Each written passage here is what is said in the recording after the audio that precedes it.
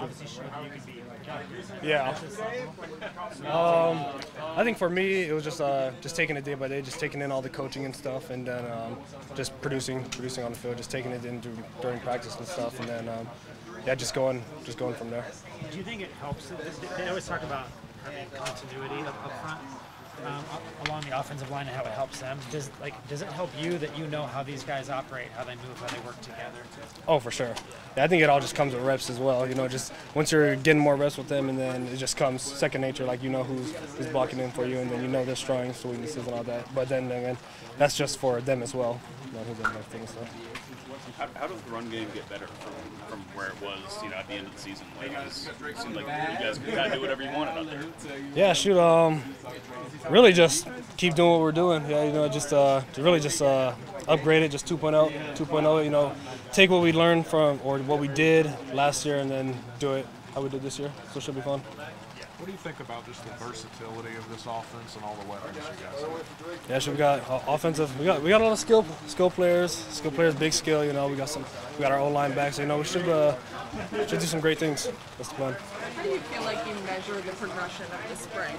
How do you feel like, okay, I'm getting better, we're getting better as an offense? I really just day, really it's just day by day, taking it day by day, and then um, that's that's really like the theme. Just taking it day by day. You know, learn from your mistakes, and then just getting better, and not making the same one.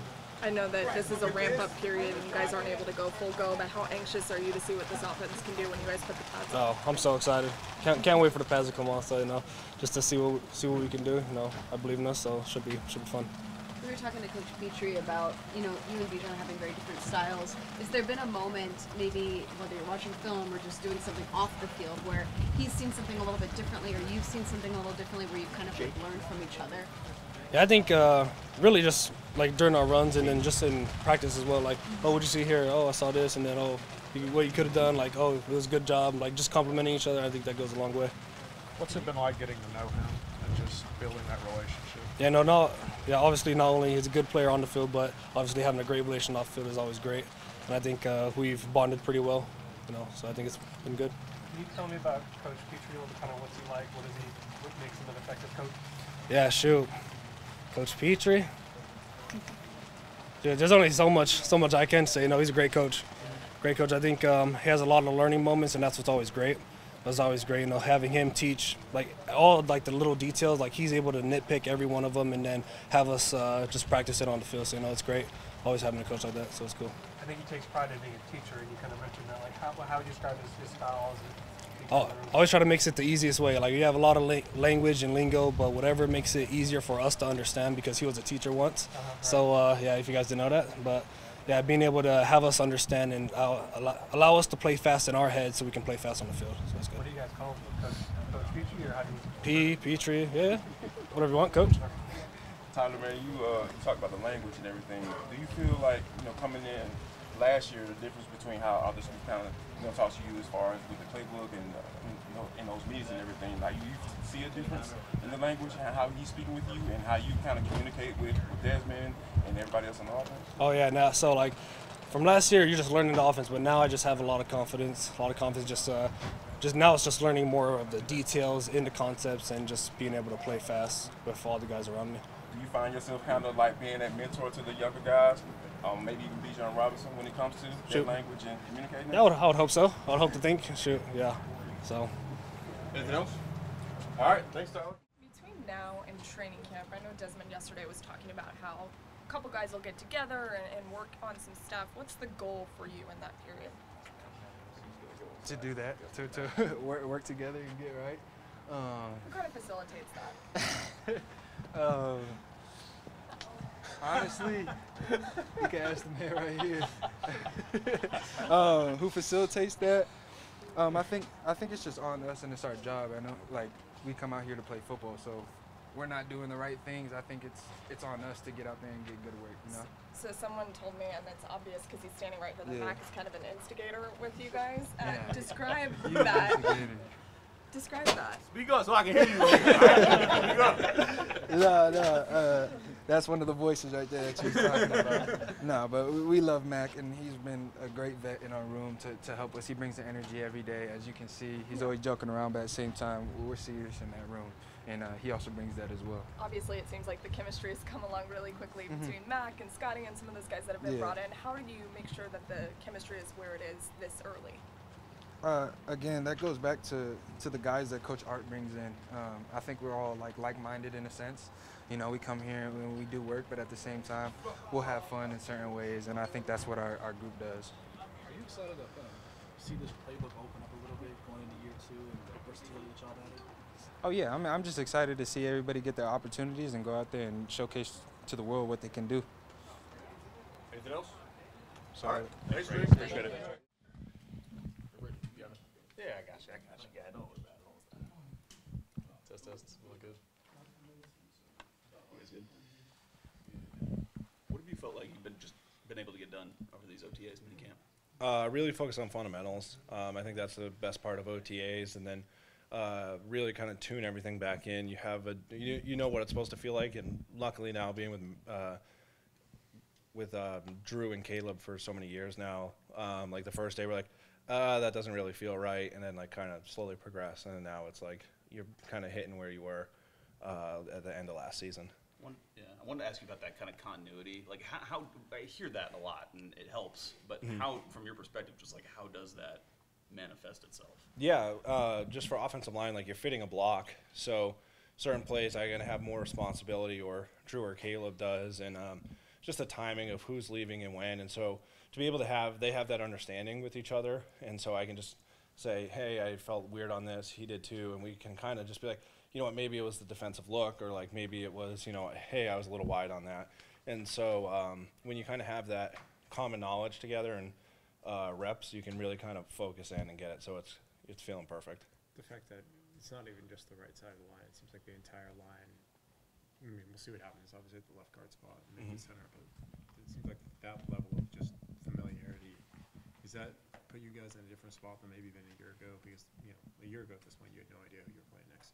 Yeah, that's- a- a- and it's it's it's really important. I really speak to that because really, you know, obviously working together as a unit as an offensive line, but like directly Caleb um, and Drew, but they're doing the same thing on the other side. But even to the sense of like if Jake makes a call all the way on the left side, um, it's got to get echoed all the way down, and so that's not a skill that we're relearning. It's kind of something we're tuning uh, or working on instead of having to like fully learn a, a new skill. So it's really nice um, when you have that, especially you know in somebody like Jake who's as smart as he is. So if he gives you a call or something, it's almost always correct. So um, that kind of really helps you out even all the way on the other side.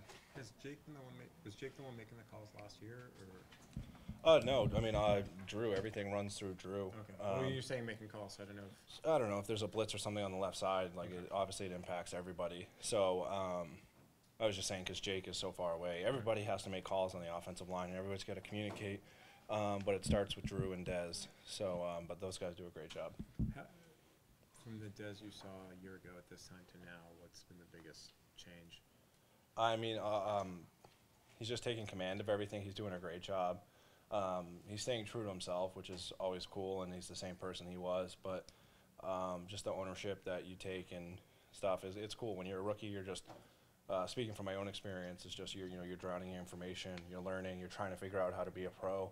And then I think with everybody, you see that year two jump. It's they understand what it takes, and then now they're just you know that's why the year two jump is always so big. I know the hitting hasn't started yet, but is there anything you can glean from the guys on the other side of the ball and just how that defensive front is going to be able to call, cause problems for opponents? Yeah, I mean they're they're a great front. Um, I'm really excited to watch. You know, obviously to compete against them because it's going to make us really ready and prepared for the season. But then you know, excited to watch what they can do to other people. Um, it's going to be it's going to be really fun. It's definitely going to be a physical camp, which is which is definitely fun for sure. How do you kind of compare the feeling around this time to what it, what it was last year? Just maybe, maybe it's a lot of the continuity and just knowing these guys a little bit more than last year. I mean, is that kind of the biggest thing, or is it something else? I, I would definitely say that. I think just uh, overall, every time, every team, every year in this time of the year, uh, is you know you're very excited, you're very optimistic about the season uh, to come. But you know we've put in a lot of great work, um, and then as an offensive line, you know we're lucky that a lot of us have been together for a long time. So every single day, it's kind of cool. Uh, just the way you approach coming to work every day. If you're having a bad day, you know people don't have to ask you if you're having a bad day. They know you're having a bad day. But like in the same sense, you know the standard that you have to be. So um, those guys bring you along, and that's the that's the cool part about continuity too. Is just like you have those relationships with guys. You understand how everybody like works and stuff, and so you don't you don't have to bring anybody along because you can read each other, I guess.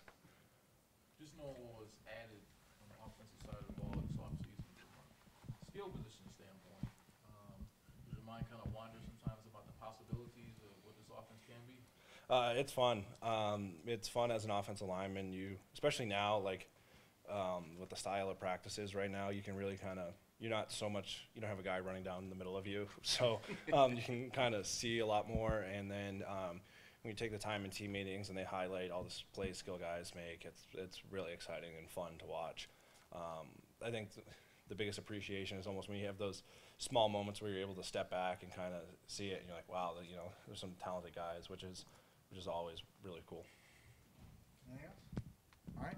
Thank you. was against the Chargers, um, and that was um, like only, only a few weeks of doing it, um, and I had a decent comfort level there doing it, um, but I knew going forward that um, there's there's a lot of growth to be had. So then, uh, got hurt that game, came back off IR, um, and throughout that entire process of rehabbing, I really focused on, like I said, just the repetition of doing things from left-handed stance and, and um, getting used to the spacing of left guard. Um, someone was able to do that in those last two games, um, which gave me a greater level of comfort at that position, and then um, definitely kind of gave me some points of focus going into the offseason uh, on things to get better at. Do you see yourself only as a left guard now, or is center still? A No, I mean, for you? Like, yeah, how do you yeah. view that? Um, versatility is huge, um, especially here. It's something that Coach Ledford loves, um, and so yeah, I'll, I'll always be willing to play any position. Matt, um, Arthur Smith always talks about how he's preached competition, about how, you know, when you come in, he wants everybody to compete and be a really competitive training camp. Do you, with Matthew Bergeron being drafted and him been moved to guard, making that move, do you feel, do you think about, is that part of your thought process as far as getting ready for the season, or is it kind of like you kind of focus solely on yourself? Um, like the competitive nature of the league is something that, like we all know, exists at all times, um, regardless of how apparent it is. Whether you're rotating with somebody every rep or you're taking all the reps, um, you know how quickly that could change. So, it's really just a focus on growth and improvement when it comes to yourself as much as possible. And do you kind of pull from like when you were in competition with Drew Dalman? Yeah, yeah, that into that? For sure. like- Um, yeah, it's something like you definitely got to get used to in the NFL. Um, going back to like rookie year, second year, third year, um, that's something that's always going to exist, um, and it's fun. It's a fun part of what we do. So.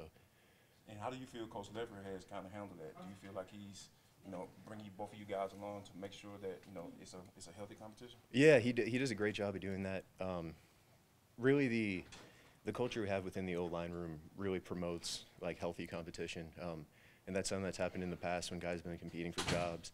Um, and so there's never a personal level of animosity there. Everybody gets along really well, and we all have the best interest of the team in mind.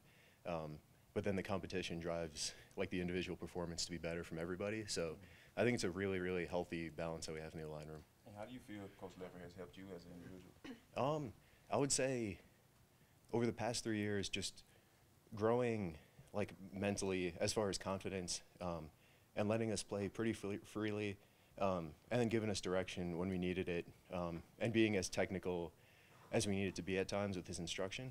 Um, but, but like I said, at the same time, he does a great job of letting guys play their strengths. Um, so, so it's been fun. Do you get into the uh, there's apparently you know with uh, Ryan Nielsen and Coach Ledford they kind of been kind of barking at each other. Do you kind of get involved in it, or you kind of just kind of let that play out? Yeah, um, you know, it's uh, like OTAs are obviously a phase where we don't have full pads on or anything, and um, kind of the run game stuff is less physically intense. I'm sure when we get to training camp, um, when, when things kind of switch, it'll be interesting to see. I'm not sure how it'll all play out, but um, but yeah, I've, I've heard about it, um, so we'll see.